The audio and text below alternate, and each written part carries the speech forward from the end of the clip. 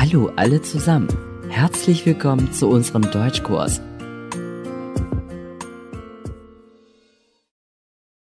Hallo, herzlich willkommen zu unserem Deutschkurs für Ben 1. Ich bin Claudia. 欢迎同学们继续回到笔译的德语课，我是 Claudia 老师。今天呢，我们继续来学习这个单元的第三课 Text C Informationen rund um die Gesundheit，关于健康的一些信息。 还记得吗？上节课呢，我们通过一篇听力文章来学习了一下关于 Krankenversicherung für die Studierende in Deutschland，特别是关于在德国的大学生的医疗保险。我们知道了大学生在德国可以在哪些医保公司为自己投保。那么今天这节课呢，其实我们依然还是要来学习一些关于 Krankenversicherung 的一些进一步信息。我们来看一下今天这节课我们会学习哪些内容呢？Erstens die Leistung der Krankenversicherung。第一点，我们会了解医保公司到底会为病人、为参保人提供哪些服务呢？Leistung。Zweitens die Kosten der Versicherten。那么医保公司会为我们提供服务，那么病人自己又需要承担哪些费用呢？也就是参保人自己需要支付哪些款项呢？这是第二方面。Drittens Informationen über Notarzt, Notrufnummer und Apotheken in Deutschland。最后呢，我们会处理一些比较细节的信息啊，我们会了解一下，哎，关于在德国，在一些紧急情况下，怎么去寻找急诊医生，去哪里找这些信息。 以及在德国，甚至在欧洲，急救电话的号码是多少？以及关于一些药房的一些具体的信息。OK，这是我们今天这节课要学习的一些具体的内容，看起来非常的复杂啊，但是不要着急，我们都会一点一点弄明白的。今天呢，我们没有这个热身的小练习啦，我们直接开门见山，先来学习一下词汇部分。w o r d s h a t s 这节课词汇部分也比较多，因为文章篇幅还是比较长的。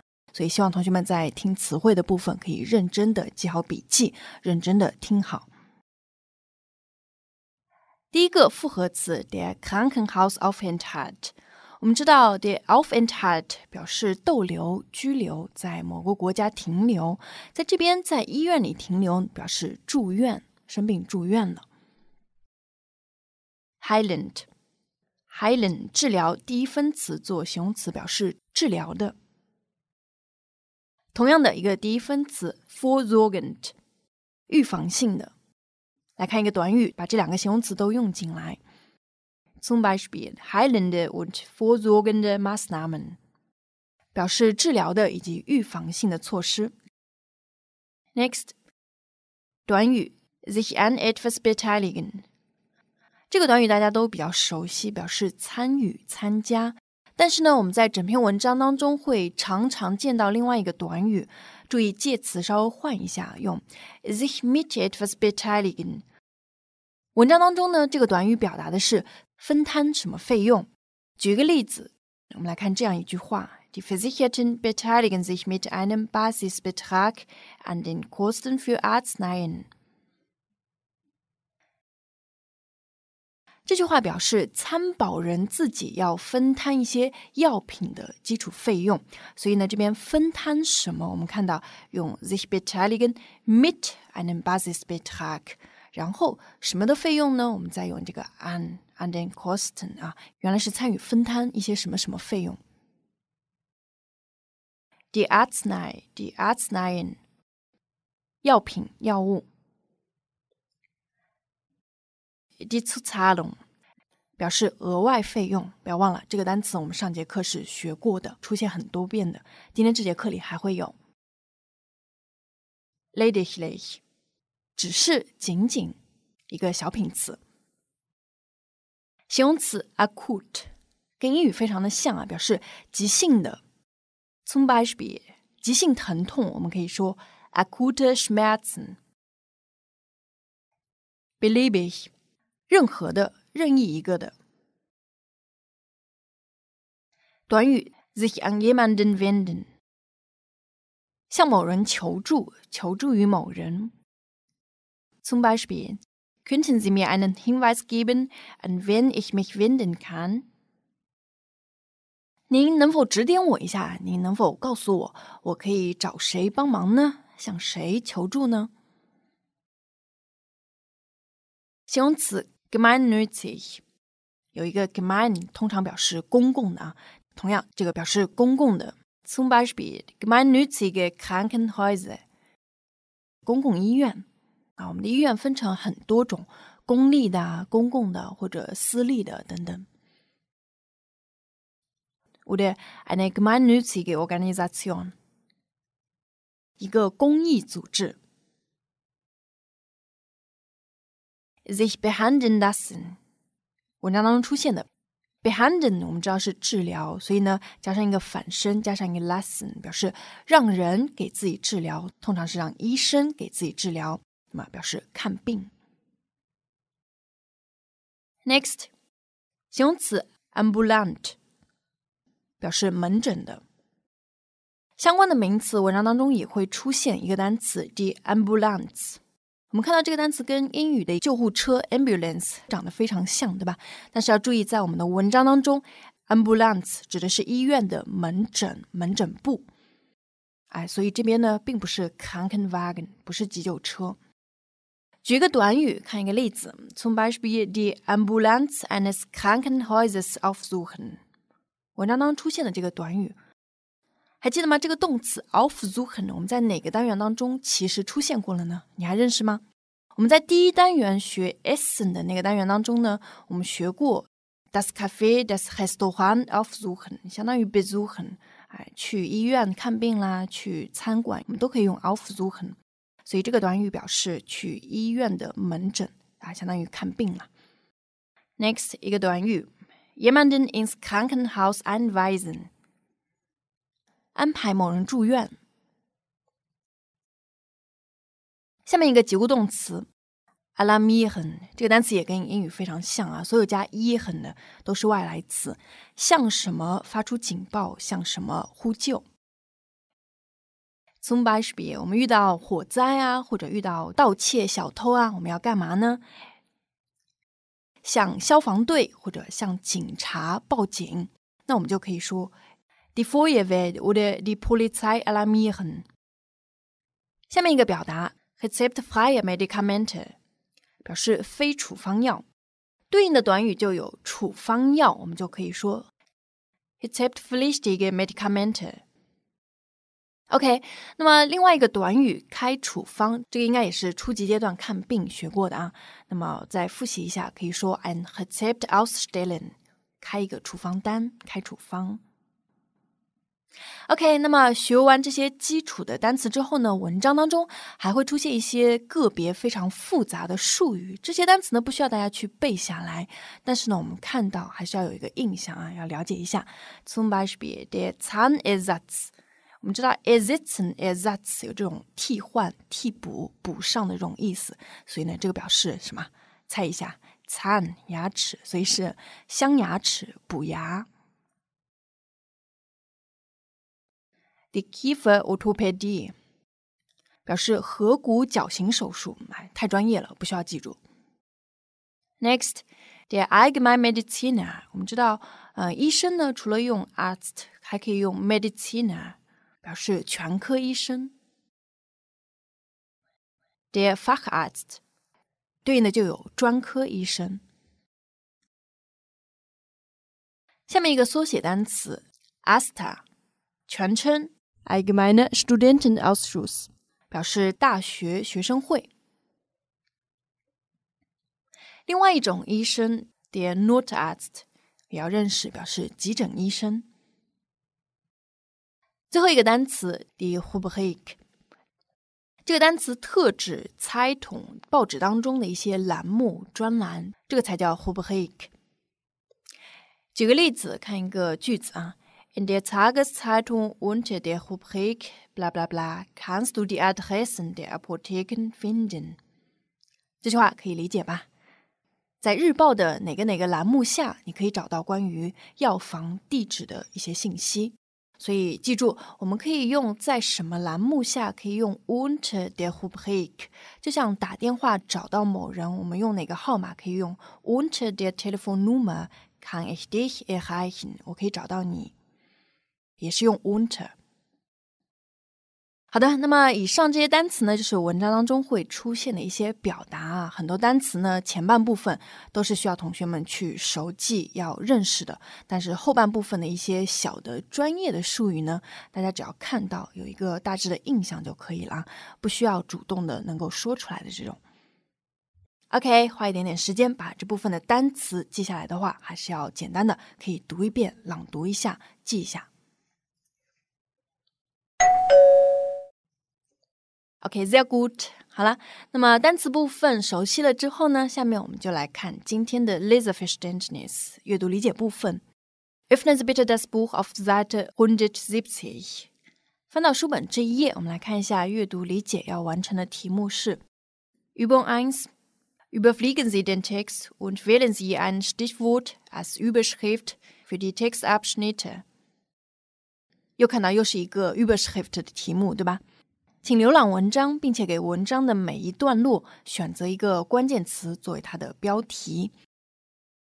OK，那么我们看到今天的这个题目呢，难度其实加大了。为什么呢？我们有七个段落 a b i s g a 但是呢，我们每个段落对应的都是三选一，那么意味着这里面有一些混淆的单词、混淆的假标题，需要大家去排除。这些选项当中呢，有个别单词比较难，所以呢，这里 Claudia 老师带着大家一起来审一下这些选择题。关于 Abschnitt A 有三个选项，A Leistung，注意了，这个单词应该要认识。我们之前在 Text A 当中也提到了，注意 lies tone 不再是指学生的成绩 s u r Leistung，这边呢是指的医保公司为病人、参保人所提供的服务。哎，它其实表示这种 Service Dienstleistung。B. Die gesetzlichen Krankenkassen 法定医保公司。C. Kosten für Arzneien 药品的费用。Next, Abschnitt B 对应的三个选项：A. Fachärzte 我们刚刚讲过了，表示专科医生。B. Fachgebiete 专业领域。C. Freie Arztwahl 自由选择医生，选择医生的自由，对吧？Abschnitt C 三个选项：A. Universitätsklinik 大学医院；B. Kosten 费用；C. Krankenhäuser 医院，没有问题。Abschnitt D 三个选择：A. Dringend ärztliche Behandlung 紧急医疗，对吧？紧急治疗。B 这个单词认识了吗？Ambulance 是指什么？对，门诊部。C Tageszeitung 讲的是日报吗？下面一段 Abschnitt A 三个选项：A Krankenwagen 救护车；B Autobahn 突然冒出来一个高速公路；C Notrufnummer eins eins zwei，急救电话幺幺二。下面一段 Abschnitt F 三个选择啊，Drogerien 这个单词要认识一下啊。我们之前讲 Apotheke 也是指药房，但是呢，Apotheke 是指需要凭医生处方才能取药的药房，这个叫 Apotheke。那么 Drogerie 它指的是不需要凭处方的可以取药的药房，这个叫。多个黑，OK 那么选项 B 就认识了 Apotheken，需要处方的药房。C Rezept，处方。显然 Abschnitt F 这一段呢，要大家判断的是跟一些处方药房相关的信息，待会仔细的看一下。最后一段 Abschnitt G A Notdienst der Apotheken，药房的紧急服务。B Adressen。地址，C Tageszeitung 日报。OK，那么题目当中的选项，每一个选项都认识了之后呢，给大家一点时间，仔细的来阅读一下这篇文章，把每一段的标题仔细的选出来。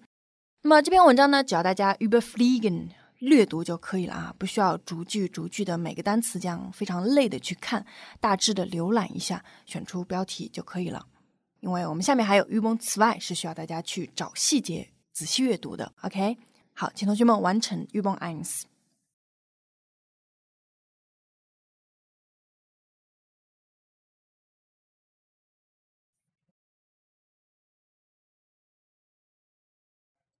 they're good show fatigue 怎么样都选出来了吗？有没有哪几道题目有点没把握呢？不太确定呢。好的，那么先给同学们一点时间，可以对照一下答案啊，看你每段的标题是不是都找对了。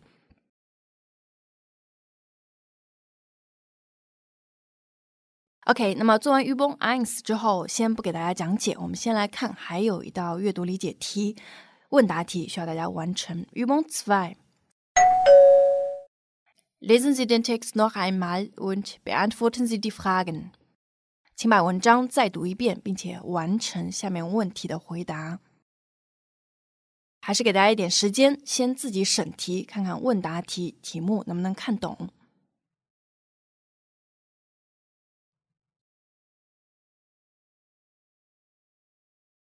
好的，我们把题目部分简单的过一下啊，看看句子有没有问题啊。Welche Leistungen bieten die Krankenversicherung？医保公司会提供哪些服务呢？B，Wie kann man einen guten Arzt finden？人们怎么才能找到一个好的医生呢？C，Wer übernimmt die Kosten, wenn man in ein Krankenhaus eingewiesen wird？这个短语应该认识了啊，in ein Krankenhaus eingewiesen。当人们住院的时候，谁来承担费用呢？谁来承担住院费呢 ？D. Wie kann man einen Notarzt finden？人们怎么才能找到急诊医生呢？E. Wo bekommt man rezeptpflichtige Medikamente？在哪里可以获得处方药？F. Wo kann man in der Nacht Medikamente holen？在晚上哪里可以取药呢 OK，they're good.。那么这些问答题其实题目本身句子并不是特别难理解。好的，那么下面呢就交给你来完成这个任务了。请再仔细的阅读一下这篇文章，要做的是一个 selective lesen，选择性阅读啊，找细节。请完成 Übung zwei。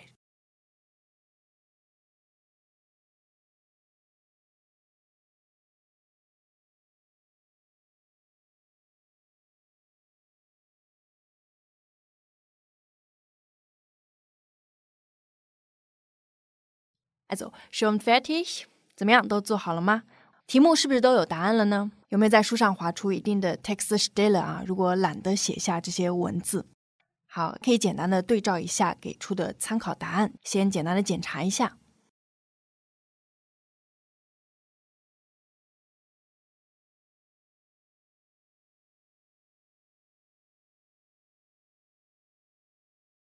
好，我们来看一下今天的这篇文章，告诉我们什么样的信息？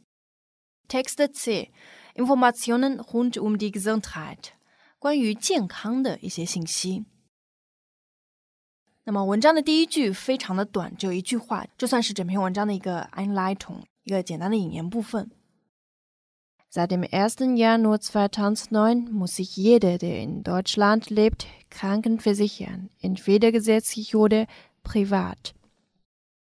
那么，鉴于这篇文章还是关于医疗保险的一些信息，会比较复杂、比较专业一些，所以今天这篇文章呢，Claudia 还是会带着大家简单的一起来翻译一下。OK，那么这一句表示的是，从二零零九年一月一日起，每个在德国生活的人都必须要上医疗保险，要么是法定的，要么是私人的医疗保险。好，这句当中只要记住一个表达，复习一下我们上节课学过的反身用法：sich krankenversichern。表示为自己上医疗保险。从正文部分 Abschnitt R 开始呢，我们要检验一下啊，刚刚自己的标题有没有选对，根据什么关键词选出来了这个标题，要有依据的，不是乱选的。那么第一段 Abschnitt R 刚刚选出来对应的标题应该是 Die gesetzlichen Krankenkassen，这一段介绍的是法定的公立的医疗保险。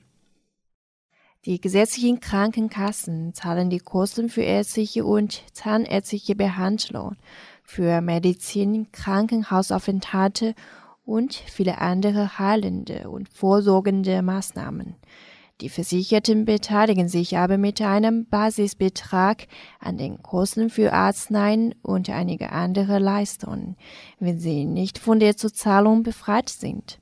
Lediglich die Kosten für Zahnersatz und Kieferorthopädie und für Brillen werden von den Kassen nicht übernommen. 好，来简单的看一下这一段。法定医疗保险公司会支付医疗以及牙科治疗，包括药物、住院以及诸多的一些治疗性的或者预防性的措施的费用。这句话当中注意一个结构啊，非常简单。Die Kosten für etwas zahlen，为什么支付费用？ 往下，但是参保人自己呢，需要分摊药品以及一些其他款项的基础费用，这是参保人自己要付的费用。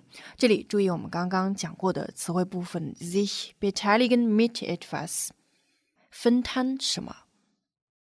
前提是如果他们没有免除额外费用的话。只有镶牙以及颌骨矫形手术以及眼镜的费用呢，是不由保险公司来承担的。那么这部分的费用是需要自己付的。好，这里面呢，另外一个动词啊，用的 die Kosten für etwas übernehmen，承担什么费用？同样，这个短语也要记住。好的，那么这是第一段，第一段主要讲的还是法定医疗保险公司。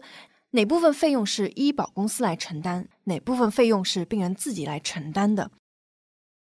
那么从这段当中，我们可以分两方面来简单的概括一下，提取一些关键的信息。第一方面，我们知道了医保公司能够提供哪些服务呢？Also die Leistung der Krankenversicherung。总而言之，他们提供的服务呢，主要是承担一些费用。我们可以说 Kosten übernehmen oder Kosten tragen für für 什么呢？分成四个方面。Erstens für ärztliche und zahnärztliche Behandlung. Zweitens für Medizin. Drittens für Krankenhausaufenthalte. Viertens für viele andere heilende und versorgende Maßnahmen. 所以总结下来呢，我们可以看到，医疗保险公司会为我们支付一些基本的医疗啊，或者牙科治疗啊，基本的一些药物的费用，或者一些基本的住院费，以及一些其他的这种预防性的、治疗性的措施。所以总而言之呢，第一点，其实我们可以概括一下，投保的最大的好处就是一些普遍的基本的费用，药物的也好，治疗的也好，其实医保公司都会为我们承担这笔费用。OK，那么这是第一方面。第一方面呢，大家也可以参考一下我们刚刚所回答的第一道题目这部分的信息呢，其实就是题目 R 的答案，自己可以看一下。那么第二方面问题就是哪些费用是需要病人参保人自己承担的呢？从这一段当中，我们也可以提取一些信息。看一下 Die Kosten der Versicherten，参保人自己所需要支付的款项包括两方面：Erstens Basisbetrag an den Kosten für Arzneien und einige andere Leistungen. 需要分摊一些药品以及其他的一些服务的费用。Zweitens für Zahnersatz und Kieferorthopädie und für Brillen. 比如说你自己牙齿不好要镶牙，要颌骨矫形手术，这个涉及到美容，对吧？以及一些啊近视眼配眼镜的话，这部分费用是需要你自己去支付的。所以通过第一段看下来呢，我们其实可以总结一下，德国的医疗保险是什么样子的呢？总的来说呢，德国的医保公司它会为你承担一些普通的医疗费。那么根据不同的情况，可能会有部分的药物费用需要病人自己来承担。那么剩下的像一些我们可以说是一些特殊的治疗，像这种牙齿不好啦，或者我想整个容啊，配个眼镜啊，那么这部分费用肯定是需要你自己来分摊的。OK，那么这是 Abschnitt 啊。我们来看下面一段 Abschnitt B。这一段讲的是 Facharzt 专科医生，刚刚选对了没有？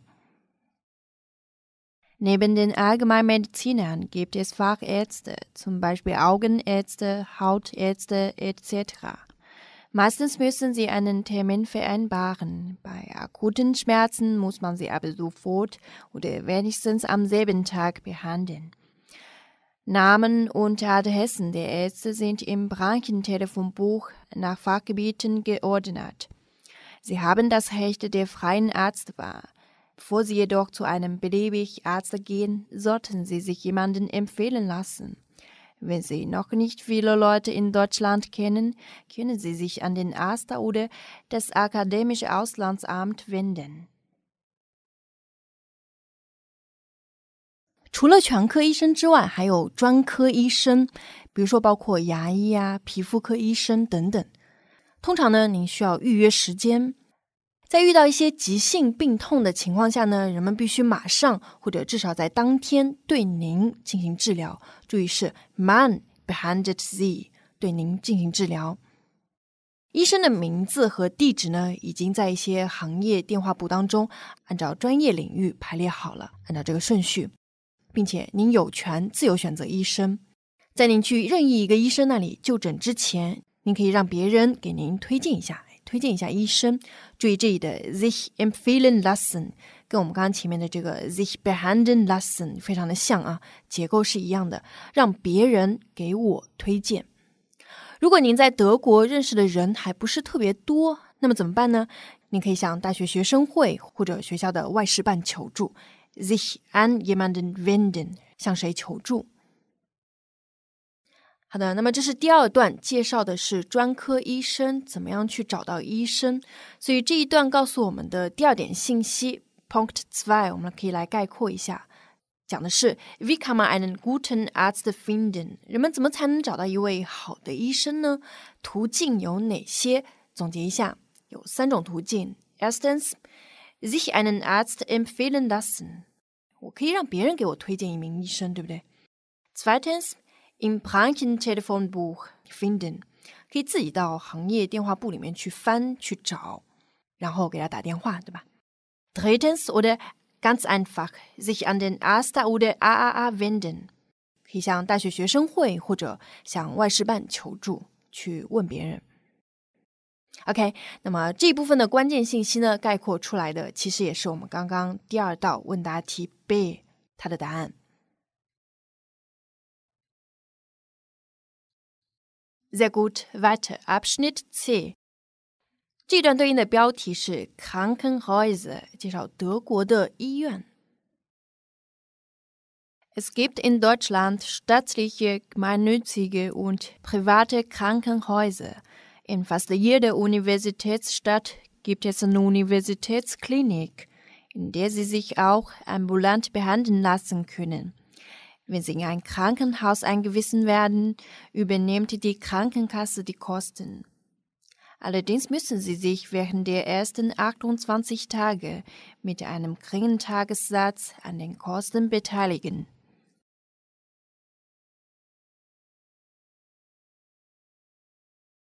来看德国的医院有哪些？德国有国立医院、公立医院和私立医院。几乎在每所大学城里呢，都会有一个大学医院。在这里呢，你也可以接受门诊治疗。当您在一家医院住院的时候，保险公司会承担医疗费用，但是呢，您必须在前二十八天内去分摊支付掉一笔较低的每日诊疗费。好，这里又出现了 sich beteiligen mit，应该要非常熟悉了。好，那么这一段告诉我们的信息，第三点信息，Punkt drei，Wer übernimmt die Kosten, wenn man in ein Krankenhaus eingewiesen wird？住院的时候，谁来承担住院费呢？我们知道是 die Krankenkasse，还是医疗保险公司？OK，那么这也是我们刚刚的题目 C。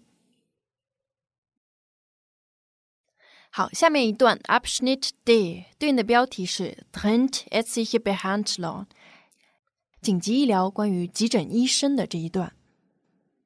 Wenn Sie nachts oder am Wochenende drintärztliche Behandlung brauchen, können Sie die Ambulanz eines Krankenhauses aufsuchen oder den Notarzt rufen.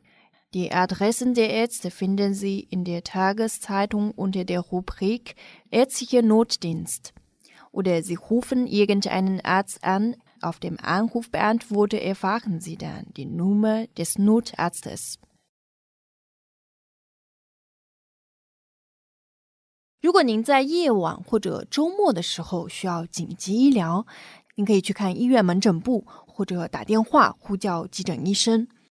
医生的地址呢，您可以在日报的医疗急救专栏下面找到。或者您可以随意拨打一位任何一位医生的电话，在电话应答装置上呢，您可以知道急诊医生的电话号码。这一段啊，应该不是特别难理解。这一段告诉我们的是关于急诊医生，我们知道了第四点信息。Pointed fear, Wie kann man einen Notarzt finden？怎么才能找到一名急诊医生呢？有两种途径，简单概括一下。Erstens Adressen in der Tageszeitung unter der Rubrik Ärztliche Notdienste finden，可以自己到日报的专栏下面去找。Zweitens irgendeinen Arzt anrufen，可以随便拨打一位医生，然后再去听他的这个自动应答的一些信息。OK，那么这是我们刚刚前面做过的问答题 D 对应的答案。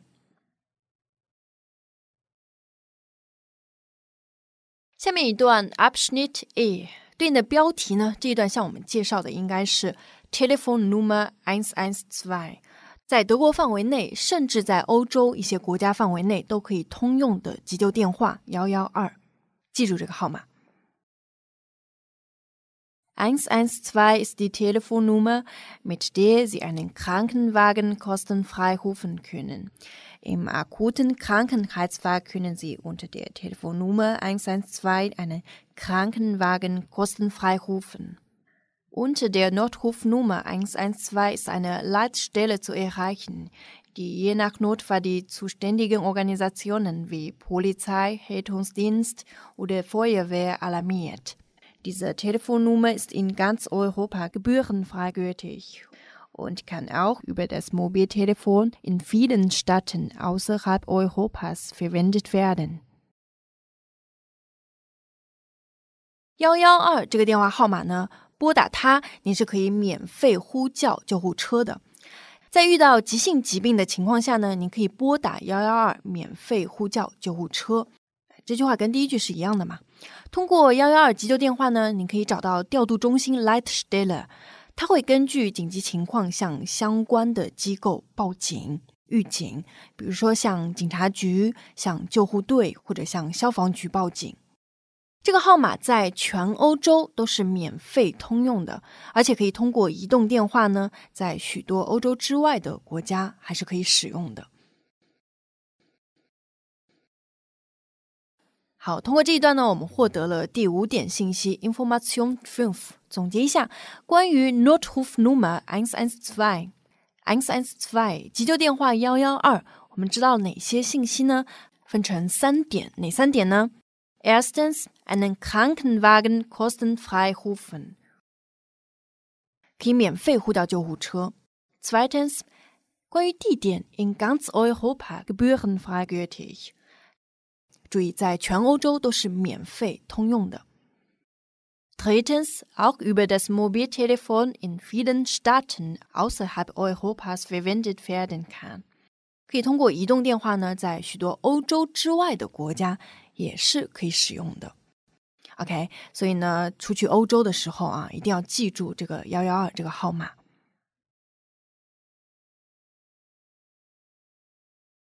OK，weiter，下面一段 Abschnitt F，对应的标题是 Apotheken，介绍的是需要凭处方才能取药的药房。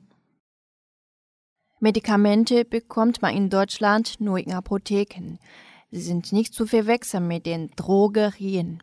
Hier finden Sie höchstens einen Hustensaft oder andere schwachwirksame Mittel. Es gibt zwei Gruppen von Medikamenten, rezeptfreie und rezeptpflichtige. Letztere erhalten Sie nur, wenn Ihnen der Arzt ein Rezept dafür ausgestellt hat. Das Arzneimittelgesetz ist in Deutschland sehr streng. 药品呢，人们在德国只能在药房里购买，并且呢，Apotheken 凭处方才能取药的药房 不能与那些不需要处方的药房这两个药店的名词不可以混淆，sind nicht zu verwechseln。在这里，您最多只能找到咳嗽糖浆或者一些其他效用比较低的药物。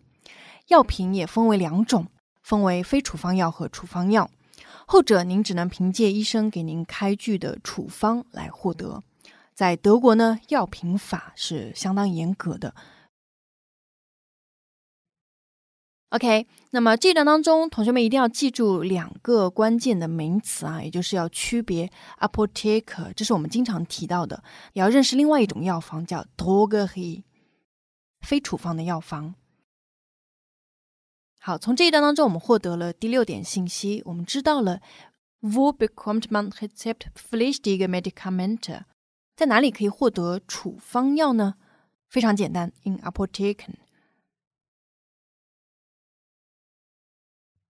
Sehr gut。下面呢，我们看文章的最后一段了。Abschnitt G 对应的标题是 Notdienst der Apotheken，药房的紧急服务。Zu allen Tages- und Nachtzeiten haben einige Apotheken Notdienst. In sehr kleinen Gemeinden müssen Sie vielleicht bis in den nächsten Ort fahren. Die Adressen stehen ebenfalls in der Tageszeitung unter der Rubrik Apothekennotdienst und an jeder Apotheke. 有一些药店会提供全天候的紧急服务，记得 zu allen Tages- und Nachtzeiten 啊，又有白天又有晚上，我们理解为全天嘛，全天候的服务。 在特别小的乡镇里呢，你可能必须要开车去最近的地方，啊，才能找到急救药店。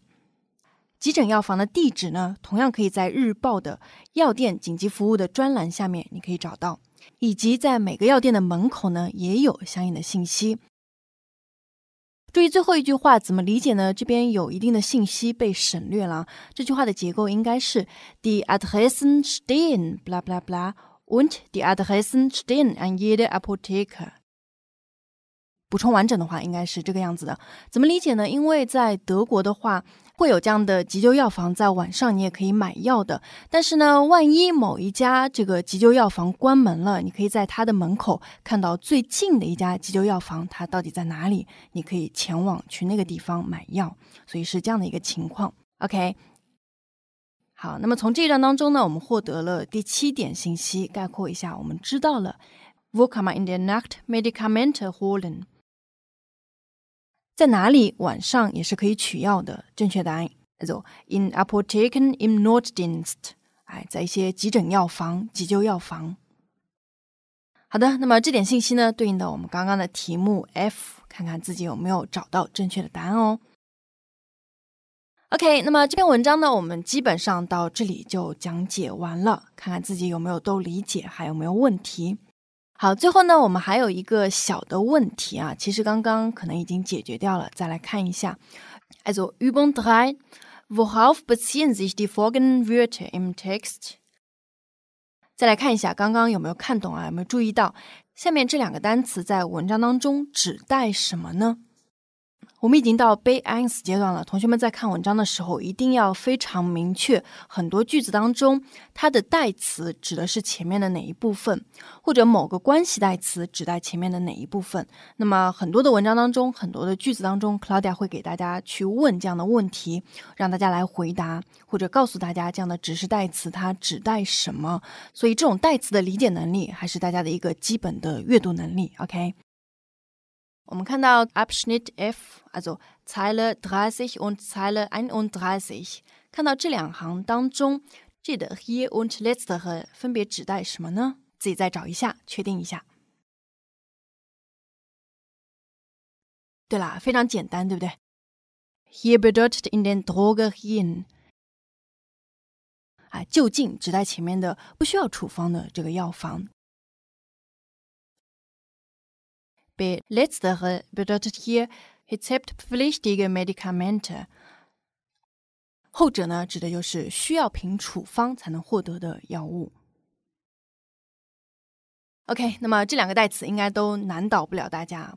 好的，那么今天这篇文章呢，我们基本上就分析到这里。关于文章后面呢，其实还有一部分的 Wortschatz-Übungen 词汇练习呢，Claudia 在今天这节课上就不给大家做具体的讲解了。